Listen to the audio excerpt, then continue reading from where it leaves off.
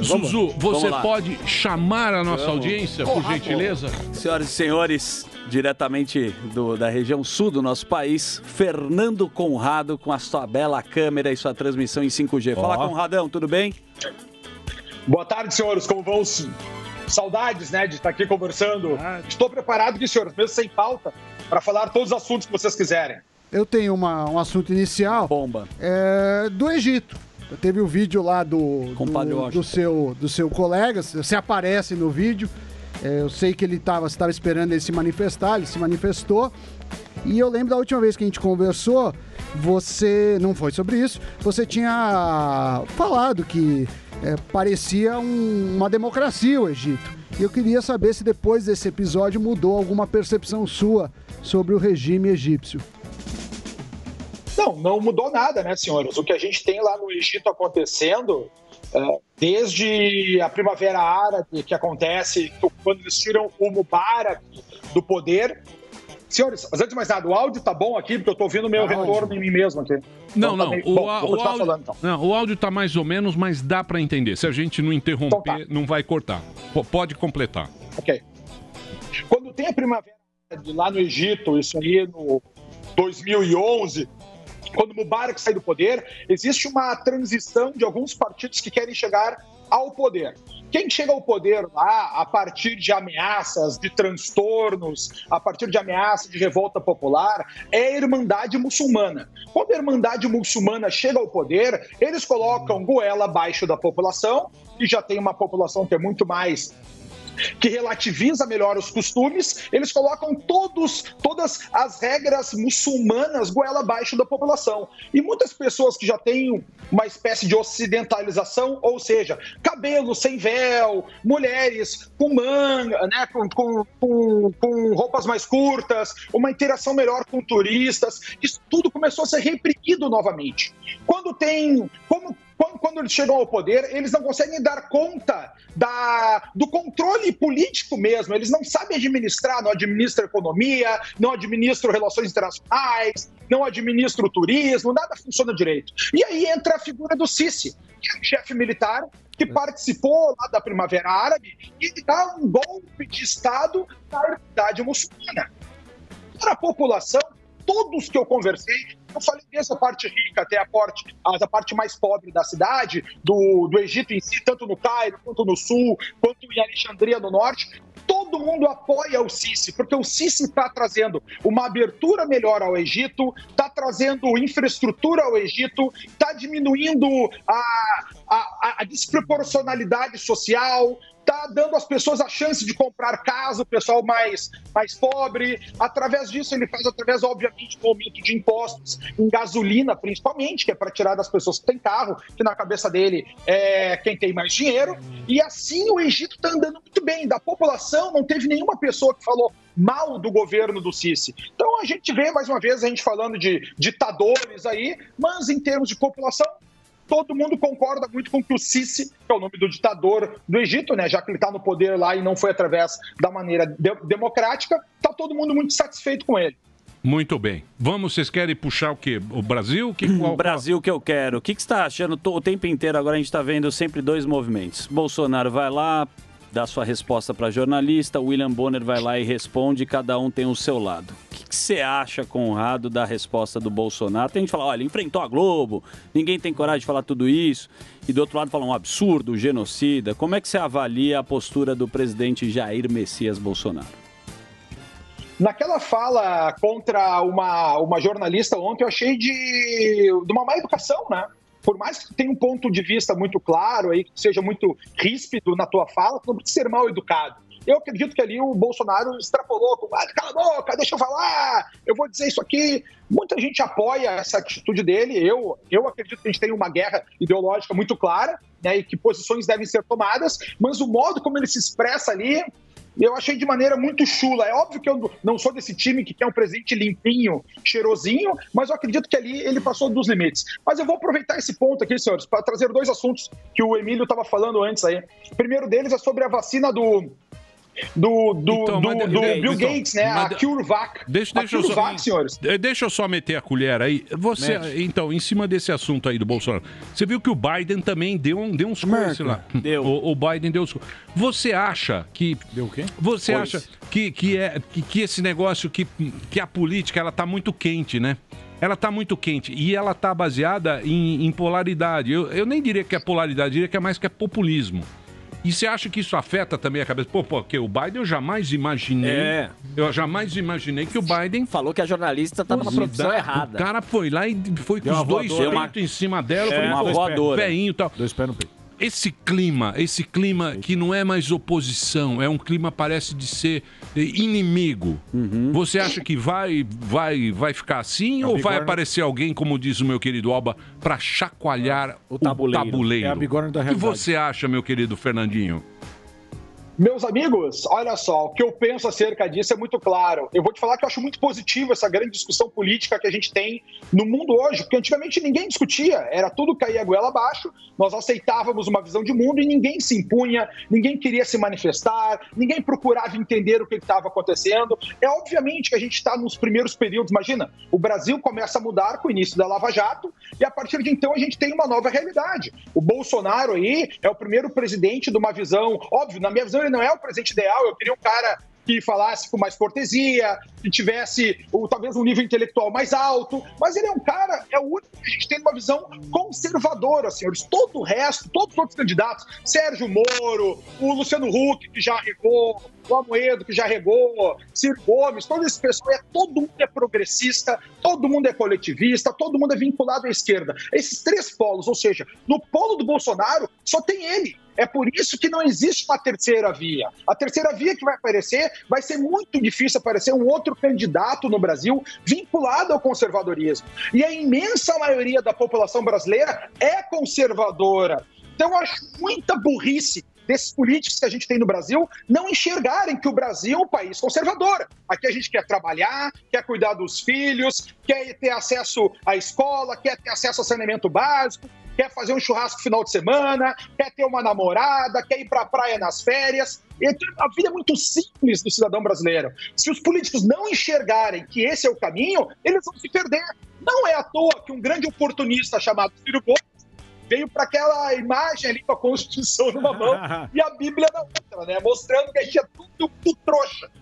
É, mas vale tudo. Na, na, na hora de pedir voto, vale tudo, né? Eu, eu sou desse princípio. Na hora do Exato. cara pedir voto, quem cair, quem, cair no, no, quem cair na rede é peixe. O Haddad não foi na missa? Mas, muito bem, mas você queria falar das vacinas, Bill é Gates. isso, Conrado? Do, do, do, Bill Gates, do Bill Gates. Duas informações aqui. A vacina do, do Bill Gates, perguntasse ali, o nome dela é CureVac. E ela teve apenas 47% de, de aproveitamento, vamos dizer assim, em capacidade imunizatória. E os cientistas da, do laboratório que foi patrocinado pela Fundação Melissa e Bill Gates, Melinda uh, e Bill Gates, eles o problema que eles relataram é que já existem tantas variantes no mundo que a variante que eles utilizaram para produzir a vacina era muito pequena, ou seja, só 1% da amostra de, de, de pessoas que, que, receberam a vacina deles tinha a variante que eles estavam se propondo combater. E quando tu fala ali, Emílio, da Suécia, a gente tem que levar em consideração uma realidade que lá no início da pandemia todo mundo condenou. A Suécia foi um dos únicos, o primeiro país do mundo e um dos únicos que abriu, que não fez um lockdown, se propondo a ter uma imunidade de rebanho. Então eles, obviamente, já eles têm 10 milhões de habitantes na Suécia, tá? Somada a vacinação que hoje está em pessoas totalmente imunizadas em 26%, a primeira dose, o Sami estava certo, está em 60%, mas com a segunda dose em 26%. Somado a essa imunidade de rebanho, o país alcançou um nível que as pessoas em si já estão imunizadas o suficiente que o vírus já não consegue mais transitar. A gente tem que levar em consideração também que lá no início dessa pandemia, né, o, London, o, o London School, lá, o Imperial College, nos informou que a taxa de contágio dessa doença era próximo de 3, ou seja, cada pessoa passaria para 3, passariam para 9, para 27, 81, e seria um terror na humanidade. O que a gente comprovou depois desse tempo todo é que a taxa de reprodução dessa doença é abaixo, é 1 ou abaixo de 1, que é a mesma da pneumonia, a mesma da gripe, não é uma doença tão tão contagiosa assim como a gente viu. Óbvio, mortal, perigosa, mas não tão contagiosa como a gente viu. Ou seja, demorou muito mais tempo para a gente chegar nessa ideia de imunidade de rebanho. Então, essa é uma das explicações que a gente tem na Suécia para já estar hoje aí sem casos e praticamente sem morte alguma, o que é algo que a gente espera que aconteça ao redor do mundo todo. O Conrado, Muito sua- bem. isso- Mas, a, mas o problema é que é imprevisível, né? Essa doença é, ela é maldita porque ela é imprevisível. Sim. Então Não é uma coisa. nenhum. Exatamente, ela não tem padrão. Né? Pô, quanta gente legal que foi embora, amigos nossos, né? Pessoa mais Pessoa velha, que você nova. conhece, mais velho e tal. padrão Então isso aí causou, causou mais. Graças a Deus o negócio está passando.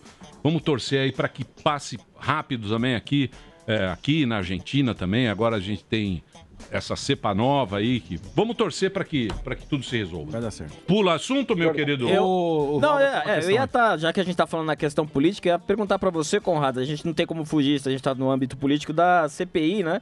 Essa CPI, o que, que você tá achando da exclu- possível exclusão dos governadores? Eu queria a sua opinião sobre isso. A exclusão dos governadores, antes de mais nada, ela não é autorizada pela Constituição, né? Então, eu não poderia nem passar na cabeça levar um, um governador para a CPI. É óbvio que eu queria que fossem, que todos eles respondessem, mas a lei não autoriza. Isso aí, me, me admira alguém pedir isso aí. A gente está vendo eles jogando para a torcida.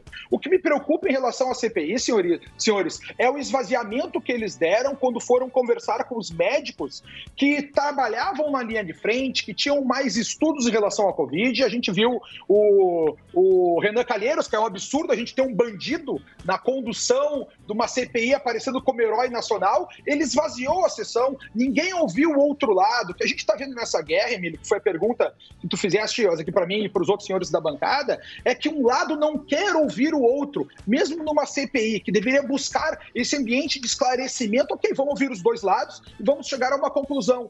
Todos, todos aqueles que são contra o governo Bolsonaro se abstiveram, saíram da sessão e deixaram os médicos falando sozinho. Dois médicos com currículos gigantescos, em oposição àqueles que nem sequer médicos eram, se comunicavam lá, e que estavam na linha de frente fazendo o tratamento das pessoas e que tiveram um alto êxito nesse combate. Então, o que a gente vê na CPI aí, Alba, quando tu me pergunta, é, uma, é, um, é um palanque político do qual estão sendo construídas todas as cenas que tu irá assistir no, no horário eleitoral das próximas eleições. Pode te preparar, é isso que está sendo feito ali. Um grande, um grande palco, e na minha visão a CPI acaba esvaziada no momento que eles chamam os médicos, esses médicos acabam com essa narrativa que eles iam colocando até então, e eles saem de cena para não dar assunto, não dar voz ao outro lado.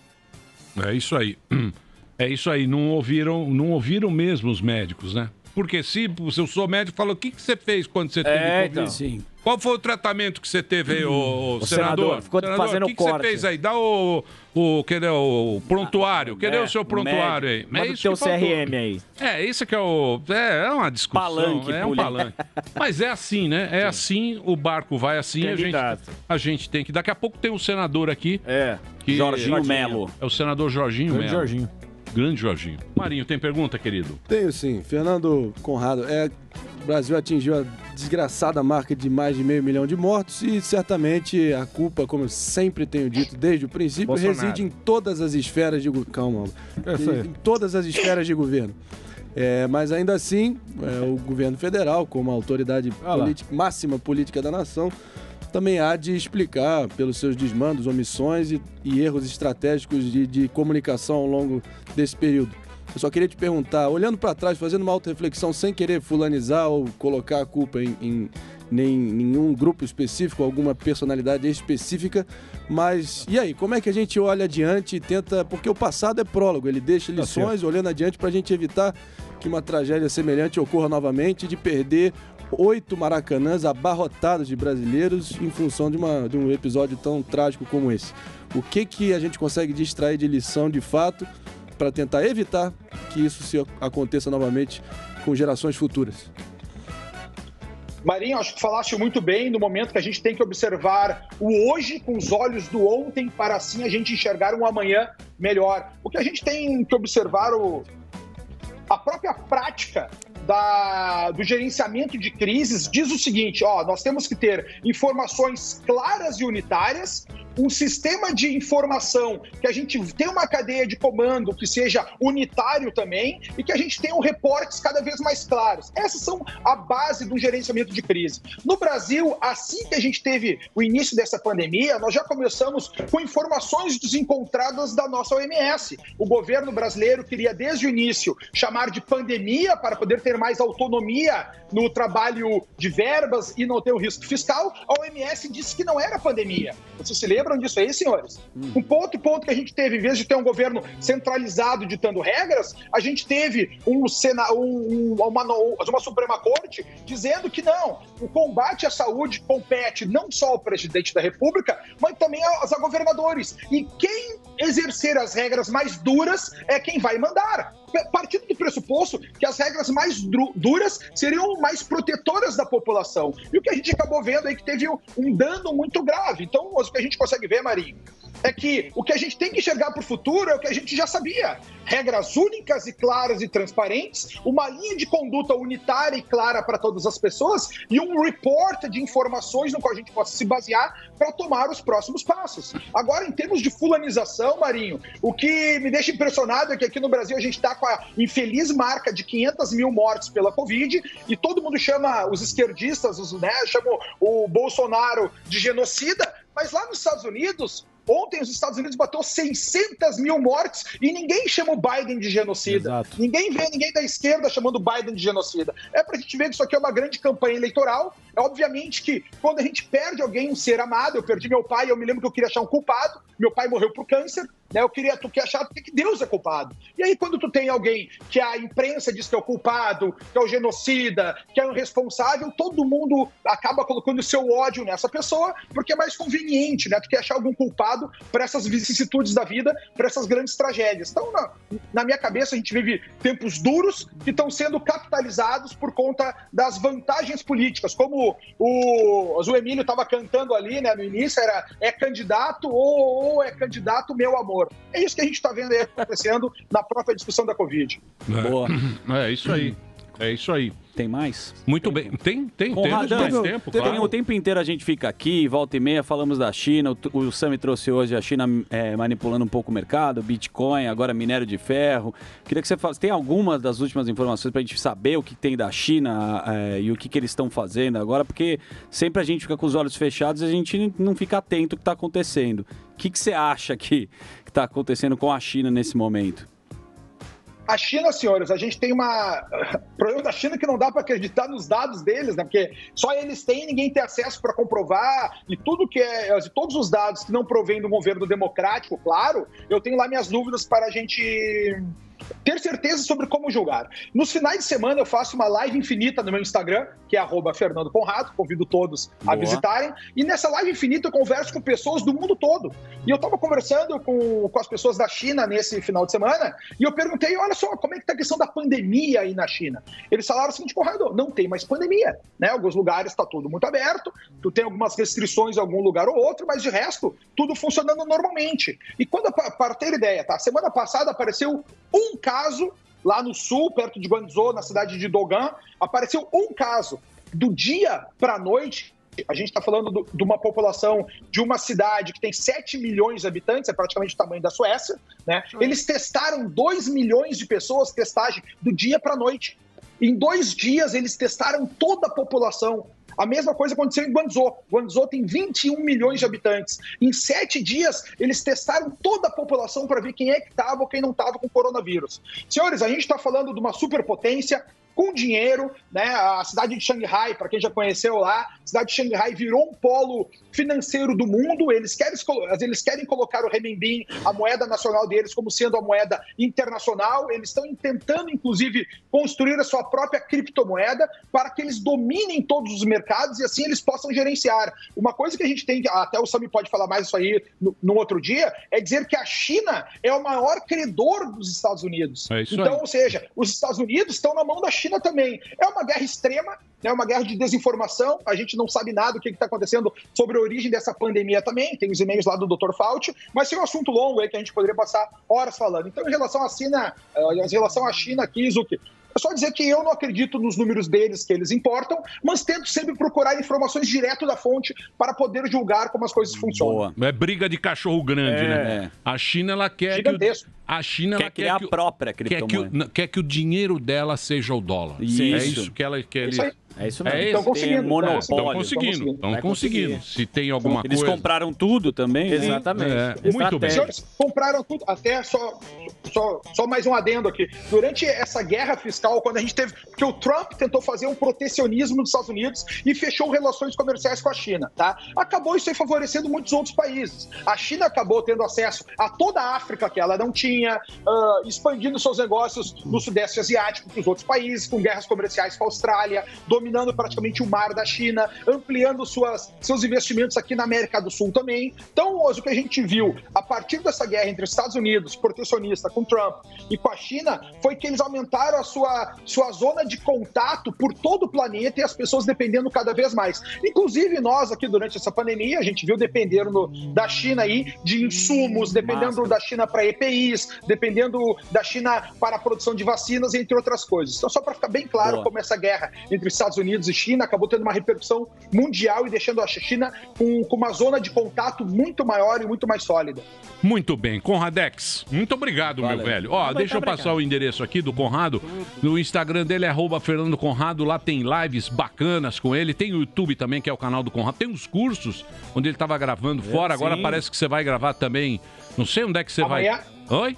Amanhã, amanhã, amanhã eu tô indo pro México continuar a nossa apresentação acerca das civilizações, né? Um curso de, de desenvolvimento cultural e crescimento pessoal, no qual a gente apresenta aí a formação da nossa cultura. A formação, por, por que, que tu pensa do jeito que tu pensa? Quem foi que construiu isso na tua cabeça? E vale a pena, como o Marinho falou aí, a gente observar os dias de hoje com os olhos do passado, para a gente poder fazer os discernimentos. A história é exatamente isso, né? São lições morais passadas por pessoas que eram muito mais inteligentes que a gente aí, os grandes cérebros da humanidade, os grandes gênios. Aristóteles, Platão, Leonardo da Vinci, Albert Einstein, tanto da atualidade quanto do passado. É isso que a gente analisa todos os momentos lá no Corações e Almas, que é o meu curso aí, arroba Fernando Conrado. Visita lá que tu vai adorar. É isso aí, bichão. Boa, é Conradão. isso aí, bichão. Conrado fala bonito, tem o Conrado curso dele. Grisalhão. Marcar Que é- um churras. Que é muito legal, muito, muito, quiser. muito bonito, muito. Ele faz com Faz competência. A estética é bonita. O cara tá investindo no curso. É Pô, aí, foi Conrado. pro Egito, Então entra lá, entra lá, tem um canal dele e é um cara que sempre conversa com a gente, troca uma ideia. Sim. O go- gostoso é trocar ideia.